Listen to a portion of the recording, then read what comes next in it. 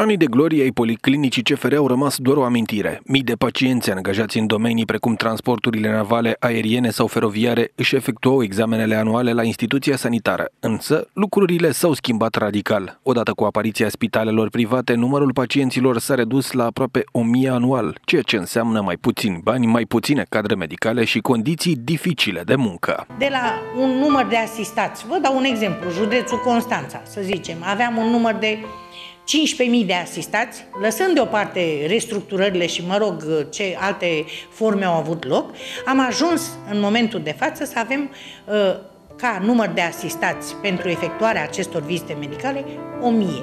Păi sigur că eu nu, vă, nu pot să acopăr cheltuielile uh, atât cu personalul, cât și cu utilitățile. Din cauza acumulării datoriilor, instituția duce lipsă de medicație și activitatea medicilor este condiționată de utilități. Energia termică a fost întreruptă, iar aparatele abia mai pot funcționa din cauza frigului. Pacienții tremură la consult, iar medicii stau îmbrăcați cât mai gros pentru a nu se îmbolnăvi la locul de muncă.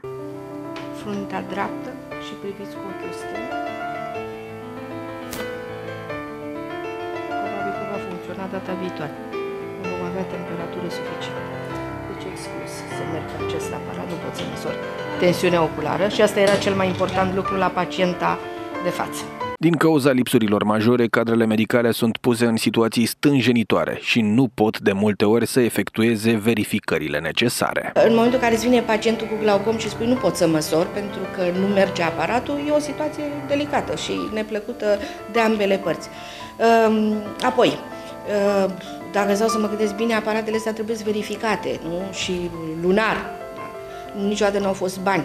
Nu, nu se pot verifica măcar la șase luni, pentru că nu sunt bani. În ciuda lipsurilor și a condițiilor dificile de muncă, medicii sunt foarte bine pregătiți și încearcă din răsputeri să ajute toți pacienții care apelează la serviciile lor. Sunt uh, medici specialiști, medici primari, medici cu o responsabilitate vis-a-vis -vis de ceea ce uh, vis-a-vis -vis de examinare.